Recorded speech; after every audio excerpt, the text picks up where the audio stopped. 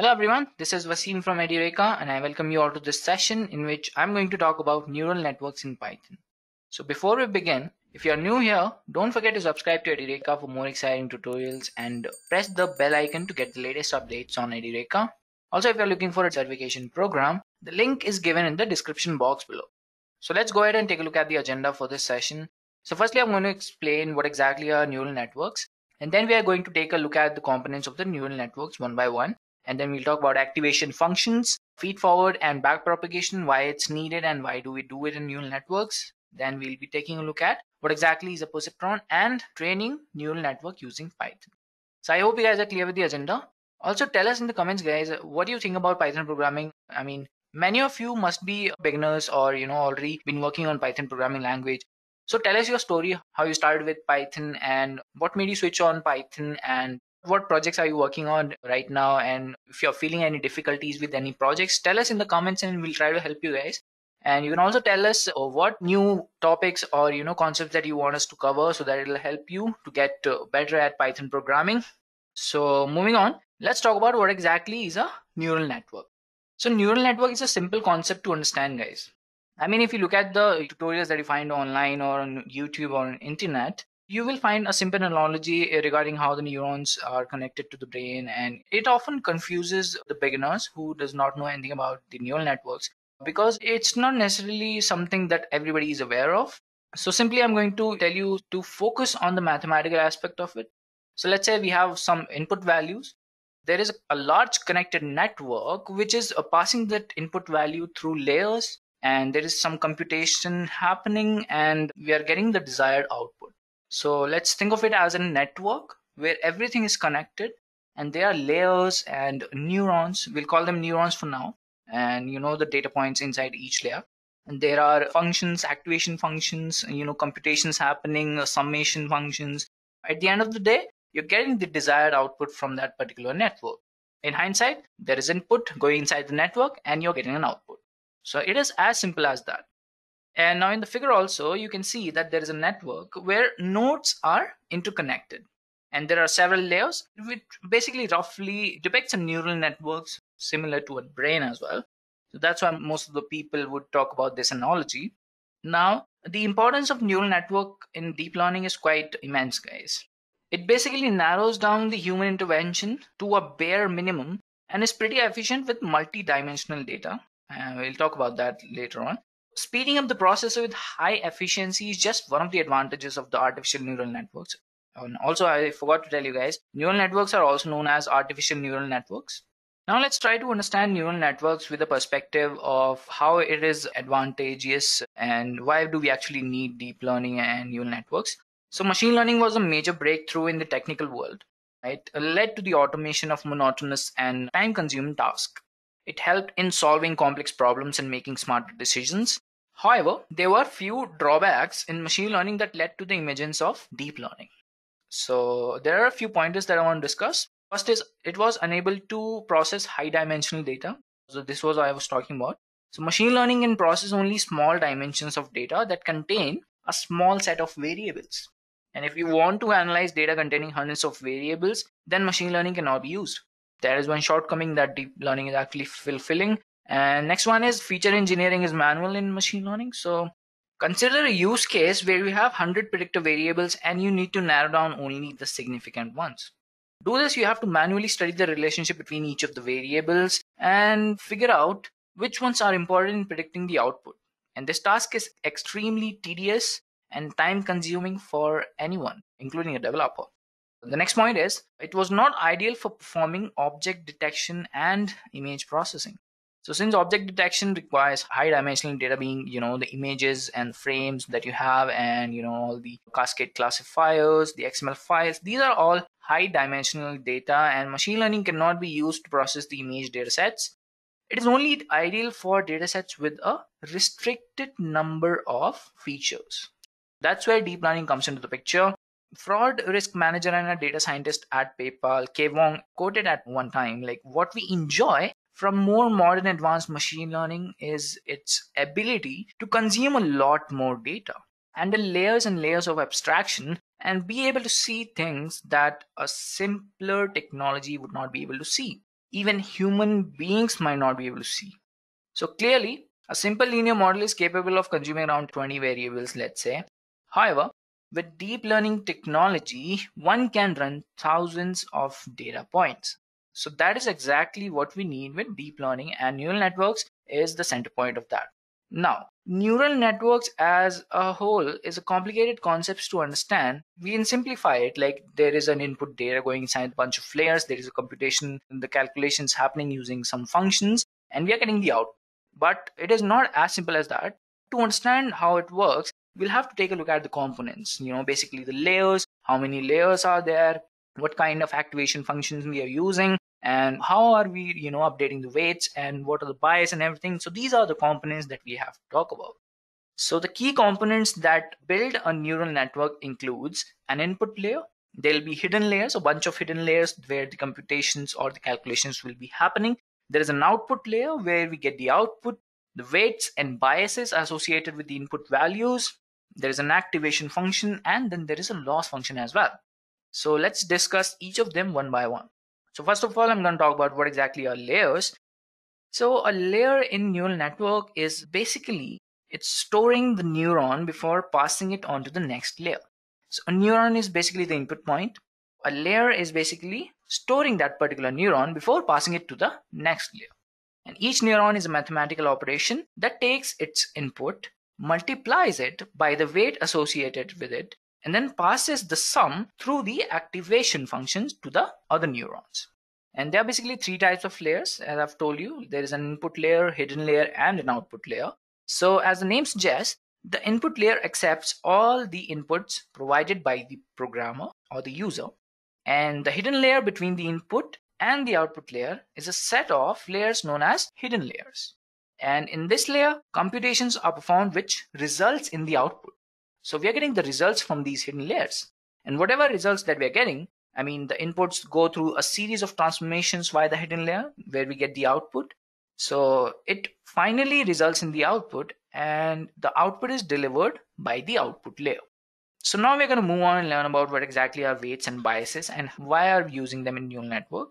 So to talk about weights and biases, one of the main components of neural network are weights and biases. So what exactly are weights?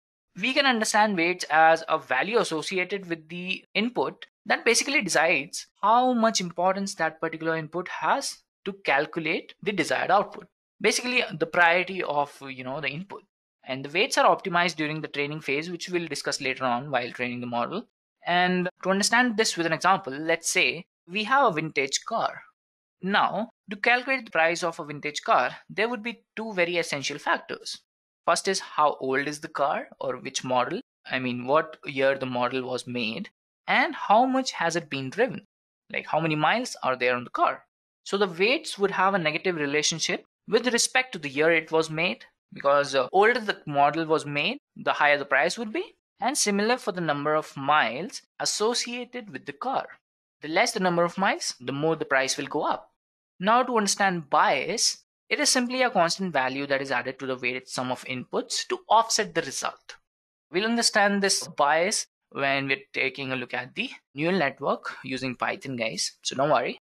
And we're going to take a look at the activation function and understand why it is used in neural network. So what exactly is an activation function? An activation function is basically normalizing the computed input to produce an output there can be various activation functions like there can be a sigmoid function a linear function there are softmax and relu uh, so these are the activation functions that we can use. So in our model we're going to use the sigmoid function guys probably because it has a threshold value from 0 to 1 so there can be only two outputs either 0 or 1 so that is why we're going to use sigmoid function guys. And if you want to learn more about sigmoid function we have a tutorial on our youtube channel that you can check out you can also check out the gradient descent algorithm or tutorial that we have on our YouTube channel. And to understand, okay, let's try to understand the whole process in a systematic way. So let's say the input values are I1, I2, I3, and so on. And there is a subsequent weights associated with them, which is W1, W2, and so on until Wn. And the weighted sum will be I1, W1, I2, W2, and so on. After adding the bias, the weighted sum would become I1W1, I2W2, and so on plus bias. Now the output will be computed using the activation function. So the output would be sigmoid function on our calculated sum or calculated weighted sum. So it would look somewhat like this. So basically sigmoid function is uh, output is equal to 1 by 1 plus e to the power minus x and we will learn more about this when we will train the neural network. So now we'll talk about the next step that we have in our neural network. So far we have discussed the layers, the weight associated with the input and how the output is calculated using the activation function. Now to implement a neural network, there are two steps involved. First is feed forward and then there is back propagation. So what exactly is feed forward?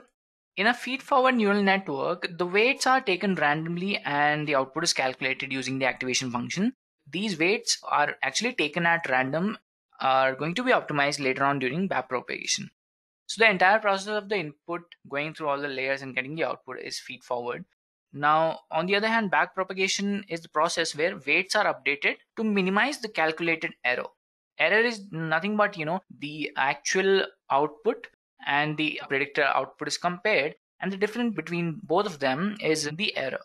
So we have to minimize that error. For that we use backpropagation. Now to do the weights are basically updated using the gradient descent algorithm that's why i was talking about so you can check it out on our youtube channel so i'll talk about the flow how we have set the flow right so we take the inputs we assign the bias and the weights associated with them and we find the error in prediction after you know applying the activation function on the output.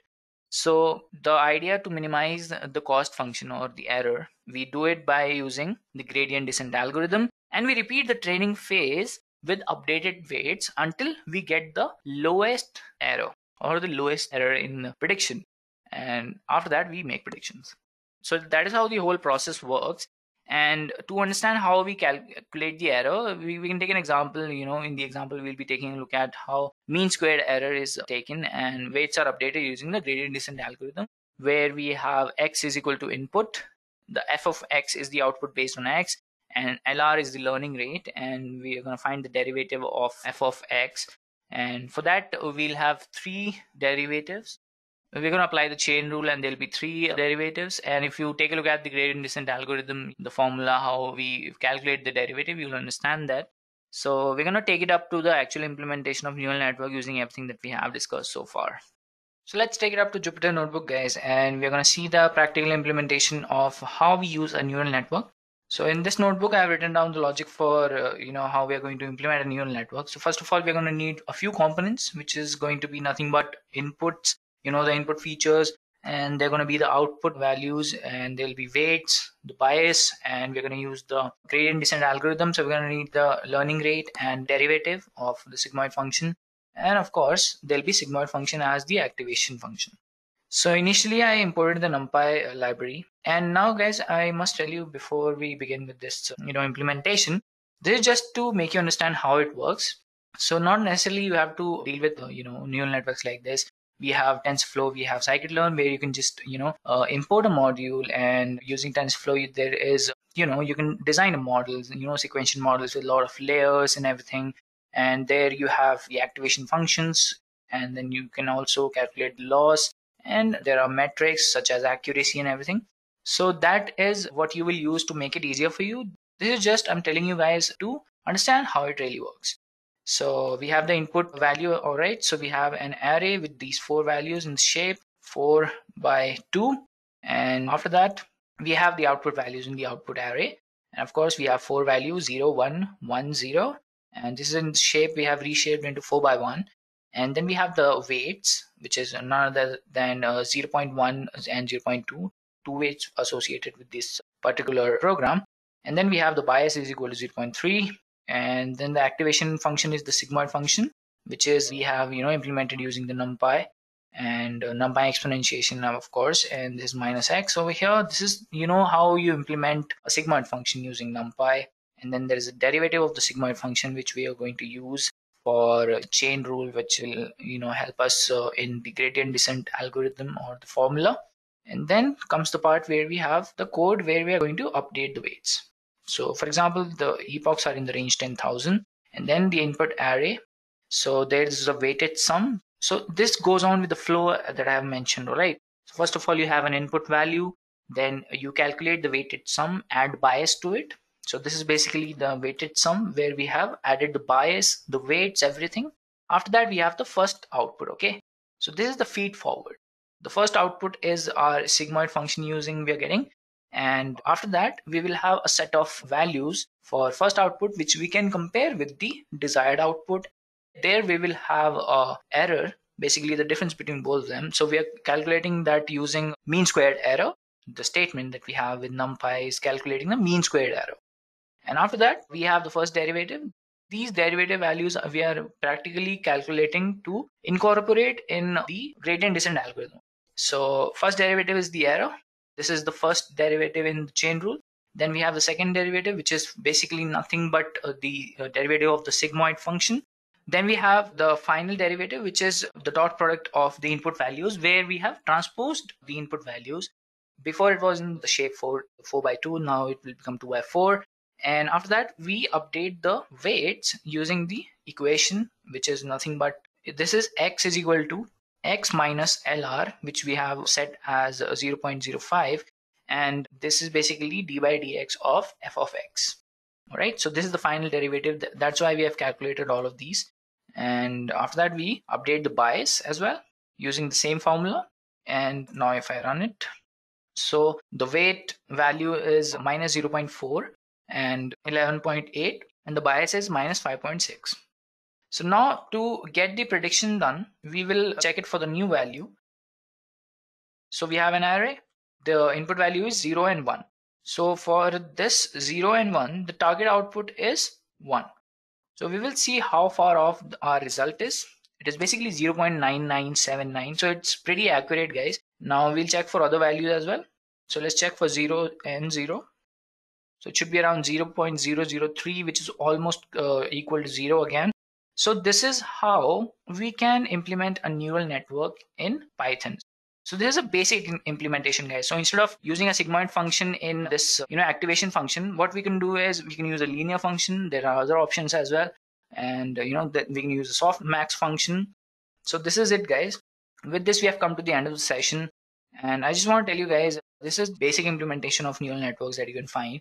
So if you really, really want to work with neural networks, this is just a very basic example that I've shown you. What you can do is you can go to TensorFlow official documentation or check out our YouTube channel and you can find a lot of tutorials there where we have image classification, you know, basic image classification, how you can just get MNIST data, pre-process the images and feed the input into a network where you can identify or classify the images into different classes. And that's a very basic example again tell us in the comments guys if you have any questions and if you want us to cover any particular topic or a project that you're working on or you're finding any difficulties in that particular project you can tell us in the comment section below. And with this we have come to the end of the session. If you are new here don't forget to subscribe to Edureka for more exciting tutorials and press the bell icon to get the latest updates on Edureka and do check out our certification program. The link is given in the description box below. Until then keep learning stay home and see you guys in the next session Thanks a lot. I hope you have enjoyed listening to this video. Please be kind enough to like it and you can comment any of your doubts and queries and we will reply them at the earliest. Do look out for more videos in our playlist and subscribe to Edureka channel to learn more. Happy learning!